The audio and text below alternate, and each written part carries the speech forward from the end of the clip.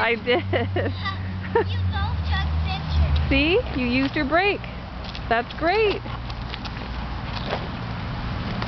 What do you think about bike riding? Good. Was it fun? Yeah. Is it scary at all? Uh, no. Just fun, huh? Yeah, just fun. Yeah. You're practicing. Can't believe this, buddy. Yeah. You're practicing and practicing. It practicing. took me so many tries to learn how to ride a bike, and you're just going and going and going and going. I remember crashing so hard one time in front of my house in Hawaii. You know what? I was older than five, Wow, and you're only four. and you're only you just turned four. I'm crashing into stuff and not hurting myself. Hi.